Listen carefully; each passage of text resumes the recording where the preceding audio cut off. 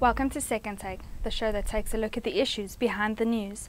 Cabinet has approved the long awaited update to the Integrated Resource Plan. Terence Creamer joins me now to discuss the approval and the Energy Minister's decision to approve the plan without further consultation. Welcome, Terence. Hi, Sam. Has the RP been published and what does it contain? Well, we still have to wait for that. Um, what, we what, what happened this week on Wednesday was that Cabinet had a marathon a session, 12 hours, and lots of things were approved during that um, uh, meeting, including what awaits the Eskom board announcement as well. Um, but one of the long-awaited, as you as you suggested, uh, plans for South Africa is this integrated resource plan, which is out of date now since 2011. Uh, the plan has sort of been out of date, and uh, there's been a plan to revise it. In at the end of last year, uh, the, the, the, former, uh, well, by two, Energy Minister Tina Joemat-Pettersson uh, released the document. Um, it was the integrated resource base case, and then that triggered a public comment period uh, and public hearings that were held in the first quarter of this year. And since then, there was supposed to be a process of revising the RP and updating it and getting it to a point where it can be uh, uh, approved. However, there was a lot of unhappiness with the base case, which many said was not a base case but had already been policy adjusted for certain uh, elements or certain generation technologies, most notably nu nuclear. So there was a feeling that maybe this plan should have been reworked.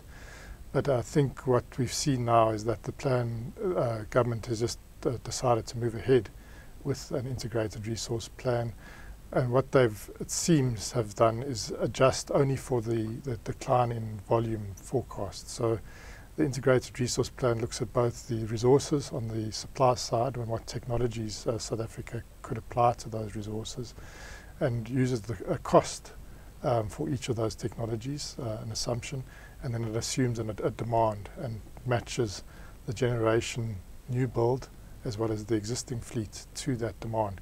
And because we've had such a lot a lower demand uh, post the financial crisis, and then with all the own goals in South Africa in terms of its weak economic growth and policy uncertainty, we've seen a, a fall in, in demand. And there's also concern that that, with these tariffs continually rising, that that demand is not going to recover very strongly.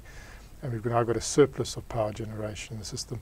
They've adjusted, it seems, the RP so uh, to reflect that, but not to uh, not to change the mix at all, or to uh, change the proportions of the old 2010 RP. So the same proportion of nuclear, the same proportion of solar PV, the same proportion of coal uh, is is expected to be in the plan, just adjusted for the lower volume. So while there would have been 9.6 gigawatts, for instance, of nuclear introduced by 2030, that will be reduced now in line with the lower demand.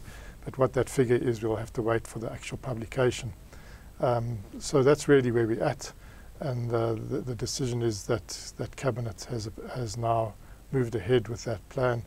Uh, um, and I suppose with a mandate to keep the, the plan up, more updated than has been the case in the past. The Minister says there will be no more consultation on the plan, which he also stresses is not um, a policy. Yes, so he, he went into quite a lot of detail at a at the Energy Indaba in a media briefing, explaining that, the resource plan is not government policy. Uh, what the policy is, he says he draws from the Act, and the Act says that we have a, a we need to have an energy mix of different generation technologies. Um, so that would include coal, uh, which is the mainstay at the moment of the South African generation system, will be the re new renewable resources, it will be uh, um, additional nuclear to what we already got at Koeberg and some uh, some other te technology, including demand side management and energy efficiency, et cetera, et cetera. So that is the the mix, and that is the policy. Um, what the plan does is it just sort of puts meat or some vision uh, around the generation technologies to that mix, and uh, th and then what will happen from there is we go into procurement phases where the actual financing and the bankability of these projects becomes more clear. So I think, uh, you know, we, are in a very suspicious uh, or uh, where there's a high level of mistrust in society. So when a government last tried to move ahead with a nuclear procurement, uh, RFP, uh, it was an RFI, not even an RFP, that went to the courts, and the courts said that the process being followed by the uh, by the department uh, was flawed um, and was unconstitutional illegal, and therefore they had to stop that process. So that nuclear procurement process uh, has been stalled. Um, so the, the issue now is once you've got a plan, the government or the minister would then base a whole lot of determinations, uh, Section 20, 34 determination based on that to, to allow for further procurement processes. So it's going to be interesting now to see with this, this view that of cabinet and the minister that the plan RP has been fully consulted and there's no need for further consultation whether civil society and opposition parties agree uh, and or whether we might go back to the courts for determination as to whether this RP process has been uh, fully transparent and fully consulted. So I think um, it's, it's, it's, a wait and see game because first we have to wait for the RP to be published to see what the contents are and then we'll have to see what the response of civil society is to this RP. But I, I think, uh, given the litigious nature of South Africa and the mistrust in society at the moment, and the very real concerns that um, that the nuclear program is going to be rushed, I think we should probably expect some form of legal uh, response. There is some news of movement on the renewables front. Yes, I think uh, uh, here the minister was able to make a happy announcement. He, he, said he was very pleased with the fact that the two parties, uh, Eskom, well, government, uh, Eskom, and uh, the IPPs, the three parties, had found each other. He, uh, that was the word he used. He didn't go into details around what the, the, the power purchase agreement pricing would look like. Now, these uh, projects were procured all the way back in 2015 in the middle, by the middle of 2016, it became clear that Eskom was unwilling to actually sign. Uh, so they were procured by the DOE, but the, uh, the buyer uh, and the, the, way that these projects actually get remunerated is through Eskom as the single buyer. Eskom showed an unwillingness to buy, given that uh, there was now a surplus of electricity uh, supply in the system. So we've had the stalemate over the last uh, year and a bit. Um, uh, so what the Cabinet and the DOE have decided is that these projects, 27 of them, will now be procured. Now initially the former by one energy minister, I remember I spoke the former by two, which was Tina Joemat-Pettersson, then we had Minister Kubayi. Uh, sh she put in a line in the sand of 77 cents a kilowatt hour.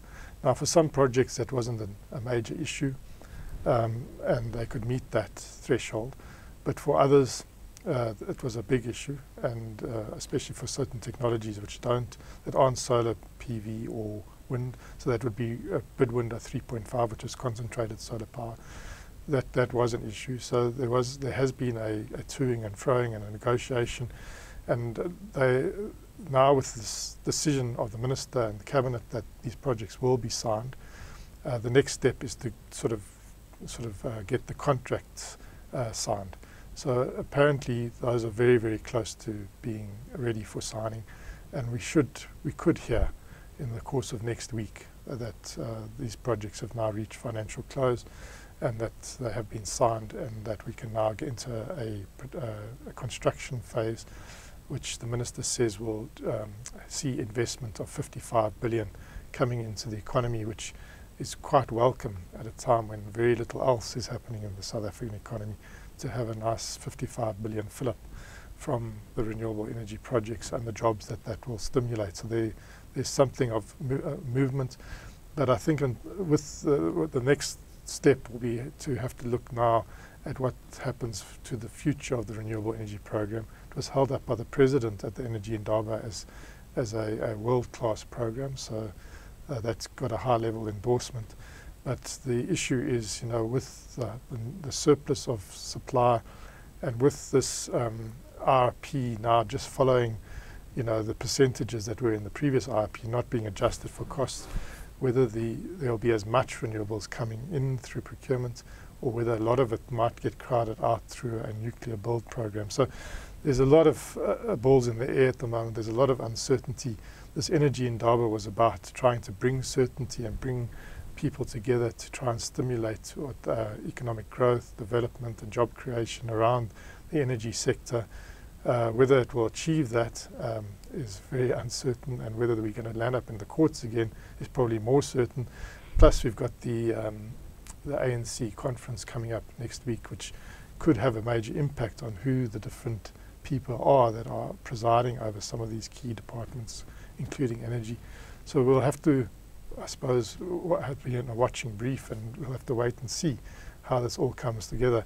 But there has been these two very, very important pieces of movement, one on the RP and secondly on the PPAs for the renewables. But uh, I think the RP, uh, there's a lot of water still to flow under that bridge, and I'm, everyone's going to be watching that very closely. Thank you, Terence.